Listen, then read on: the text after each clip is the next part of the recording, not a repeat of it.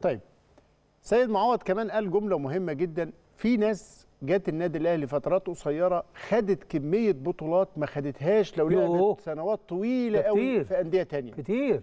وهو ده قيمة النادي الأهلي. طب قيمة النادي الأهلي دي حسها اللي لعب في النادي الأهلي اللي استمتع بهذه العلاقة. ده في ناس جت وما لعبتش وخدت بطولات. خدت بطولات. الناس اللي ما جاتش الأهلي خالص اللي الأهلي ممكن يكون فكر فيها صورة النادي الأهلي عندها إيه؟ واحد من هذه النماذج الطيبة الحقيقة الكابتن أحمد سمير لاعب طلائع الجيش. كان في ضيافة الزميل محمد شبانة قال حاجة مهمة. انت سألتني سؤال قصده ولا انت بتقولي كده عشان تلاوعني؟ إيه؟ قلت لي مين هيدفع أكتر. هل فعلا ممكن تبقى ده معيار بالنسبة لك؟ فين؟ لما بقول لك أهلي ولا زمالك قلت لي مين اللي هيدفع أكتر. لا أنا بقول لك مين اللي بيدفي أكتر؟ في يدفي. الشتاء. آه كده بتقولي في. الشتاء. لا. العين أنا العين يدفي أكتر. آه يدفي أنت مساله الفلوس بالنسبة لك مش هي الأصل طبعا. لا ما هو ما هو طبيعي أدائك اللي هيجيب الفلوس. أنت النادي الأهلي واحد النادي الأهلي يعني. ما يتقلش بفلوسي. يعني ياه. آه طبعا. أيوه ما أنا واقعي. ما يتقلش بفلوس؟ آه وما بلونش ولا في لعيبه في الأهلي سابت النادي عشان فلوس؟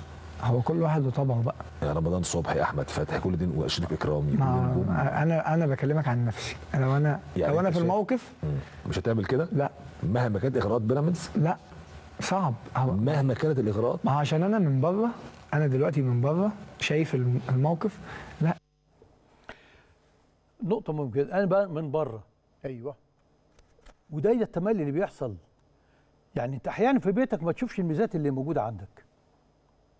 كمية الحب اللي أنت محاط بيها الدفى زي ما بقول لك الدفى. تعبير حلو قوي اللي يدفي أكتر. وأنت بتتدفى بحاجات كتير بالأمان بالاطمئنان بال بال بال بالحوكمة. آه. اللعيب الجد عايز المناخ ده. امم إن حاجة محكومة. نظام عدل آه، إمكانات شعبية آه، حقوقك بتاخدها من غير ما تشحتها. لم يخضع لاعب في النادي الأهلي. كل دي هو ده الدفع اللي بيتكلم عليه. فالراجل ده وهو بره شايف النعمة دي نفسه يبقى ده هو فيها على فكرة ده, ده أحمد سمير تقريبا لعب في الدوري المصري كله. لعب في الداخلية والزمالك والمصري والإسماعيلي والاتحاد والطلائع. نفسه بقى على كل دول. آه نفسه يلعب في بس الأهلي. شايف الأهلي هو اللي بيدفي وكنت قريت له أو شفت له حاجة آه. أنا لو رحت الأهلي مش هروح عشان أنا كويس إن أنا رحت هروح عشان أثبت وجودي. آه. هروح أدي المكان ده وأقول لهم مش هتندموا وإن أنا جيت. امم فهو الطموحات دي مهمة جدا وال... وإنك تبقى قايس المكان اللي أنت رايحه مهم جدا جدا يعني. دي رسالة في أحمد جملة- سمير لكل لاعب موجود في في الأهلي في بقى. جملة يا أستاذ إبراهيم بيقولوها لعيبة كتير جدا بتدل إن الناس مش شايفة اللي هي بتعمل إيه. آه. مش حاسين باللي هم فيه. أيوة. فعلا يعني. أيوة. بمناسبة الكلام بتاع الراجل ده يقول له طموحك إيه؟ يقول له طموحي أحترف. أمال أنت يا ابني اللي جايب 20 مليون وبتاخد لك 7 8 مليون جنيه مش محترف؟ آه. هو الاحتراف في ذهنه إنه يركب الطيارة. بره. لازم يركب الطيارة عشان يبقى محترف. آه. واخد بالك آه لكن انت في ولذلك هم بيتعاملوا في الدوري المصري مع انديتهم بغير احترافية ما هماش محترفين ما يديكش زي ما بياخد ويختلع وي- وي- ويناقشك أنا قاعد ليه؟ وانت لو رحت في اوروبا هتعرف ت- تقول للمدرب أنا قاعد ليه؟ ما بيلعبش ليه؟ أسهر على مزاجي وأجي تاني يوم أقول لهم هو, هو أنتوا ما بتلعبونيش ليه؟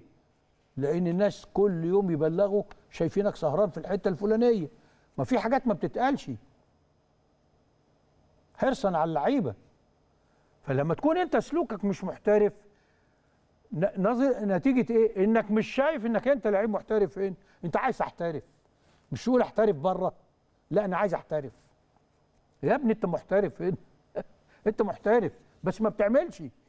بمعيار الاحتراف. وده اللي بيعمله النادي الأهلي. ما هي الصورة يا جماعة المضيئة قوي اللي كل جمهور الأهلي يفخر بيها ويسعد وكل لاعب يلعب في النادي الأهلي المفروض دي رسالة ليه. قيمة هذا النادي اللي انت بتمثله قيمة هذا الجمهور اللي انت المفروض تسعى لأن انت تسعده ده مش من فراغ.